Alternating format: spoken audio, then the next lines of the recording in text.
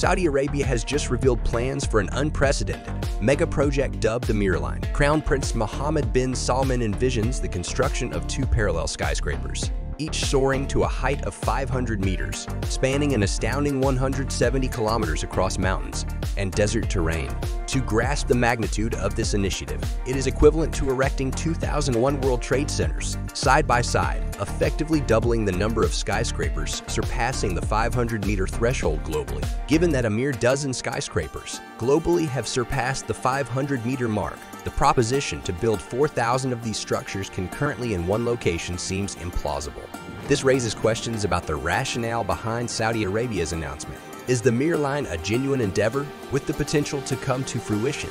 Or is it a strategic move to capture global attention? Don't forget to like and subscribe to our channel. In 2016, the kingdom introduced Vision 2030, an initiative aimed at diversifying the economy, reducing dependence on oil, and steering towards sectors such as tourism and technology. Subsequently, a comprehensive master plan named NEOM, signifying New Future, was unveiled. NEOM envisions a cutting-edge smart city comprising three monumental megaprojects. The initial phase of this development is the Oxagon, an expansive, floating, eight-sided industrial complex designed to function as a pivotal port for shipping routes through the Red Sea. Furthermore, within the city, there is a notable all-season outdoor skiing destination known as Trojena, situated in the Arabian Peninsula, intended for year-round entertainment and events. However, none of these ventures match the grandiosity of the Mirror Line, announced in January 2021. Recent revelations about this figurative line surpass any prior expectations, and describing it as extraordinary would be an understatement. The Mirror Line is comprised of twin 500-meter high structures, running parallel for a remarkable 170 kilometers across desert terrain. These mirrored exteriors, with just 200 meters of separation, will accommodate a city housing 9 million residents. Originating from the Gulf of Aqaba in the Red Sea, the linear city will traverse mountains and desert landscapes, connecting the two mirrored facades through walkways. The interiors will predominantly adopt a vertical design, with public parks, offices, and residences stacked on top of each other. Essentially, the plan involves vertically stacking the infrastructure of a conventional city. Moreover, their vision is to achieve 100 sustainability and incorporate cutting-edge technology. Residents will be sustained through vertical farming seamlessly integrated into the towering 500-meter high walls. Beyond that, the structure is intended to feature a marina for yachts and a sports stadium elevated up to 305 meters above ground level. Can the construction of the Mirror Line become a reality, or is it an unattainable dream? Crown Prince Mohammed bin Salman has heralded it as a revolution civilization, but the project appears more like a colossal fantasy straight out of a fiction novel than a feasible endeavor. Saudi Arabia aims to actualize segments of the Mirror Line by 2030, accommodating over a million residents. However, the ambitious timeline and the sheer magnitude of the project raise doubts about its feasibility.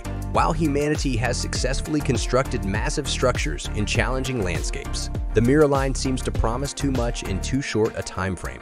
Saudi Arabia's recent history of building extraordinary skyscrapers, exemplified by the stalled Jeddah Tower, intended to be the world's tallest building, cast further skepticism. The Jeddah Tower has only reached approximately one-third of its initially proposed height.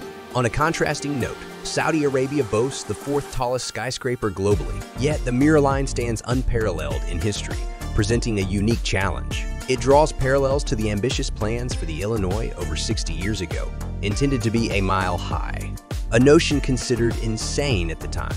Similar to the Illinois, the Mirror Line may be confined to paper, or in this case, 2-3 renderings and promotional videos. As the world observes, approximately 50 million people have already viewed one of the Mirror Line's trailers. Whether it materializes into a tangible marvel or remains a captivating concept captured in digital imagery remains uncertain, emphasizing the heightened global interest in this groundbreaking endeavor. Are there alternative motives behind Saudi Arabia's proposal of such an extraordinary project, knowing the challenges it may entail? Since Mohammed bin Salman assumed leadership, Saudi Arabia has been actively engaged in an image reformation. Initiatives like the Mirror Line are integral to this rebranding strategy, guaranteed to capture international attention.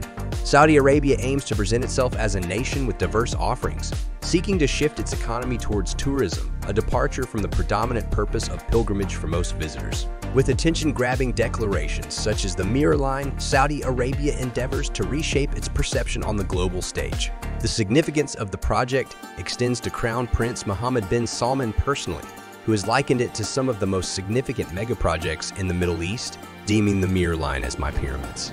NEOM is positioned to become Saudi Arabia's iconic architectural landmark, and the unveiling of an extraordinary project within it builds anticipation. Furthermore, according to the project's website, NEOM is described as a vision of what a new future might look like. This suggests that the Mirror Line could serve as a research initiative exploring alternative city structures and modern transportation concepts, aligning with Saudi Arabia's aspiration for innovative urban development. Reactions to scrutiny Following the revelation of the Mirror Line, Saudi Arabia has undeniably captured global attention. Nevertheless, the majority of responses have been less than favorable, leaving numerous questions unanswered. While the ambition is to construct a city boasting a 100 sustainable transport system with zero emissions, critics have highlighted a critical omission, the substantial carbon footprint associated with building such a colossal structure. Estimates from Oldfield at the University of New South Wales suggest that the line's construction would result in emitting nearly 2 billion tons of CO2, surpassing the total CO2 emissions of the UK over four years. The commitment to creating a carbon-neutral city raises skepticism when confronted with these substantial construction-related emissions. Critics have also swiftly pointed to Saudi Arabia's human rights track record, prompting an examination of the potential human cost associated with the country's plans. In the region, there are indigenous tribes with a centuries-long history of residing in towns and villages, adding another layer to the scrutiny surrounding Saudi Arabia's ambitious undertaking.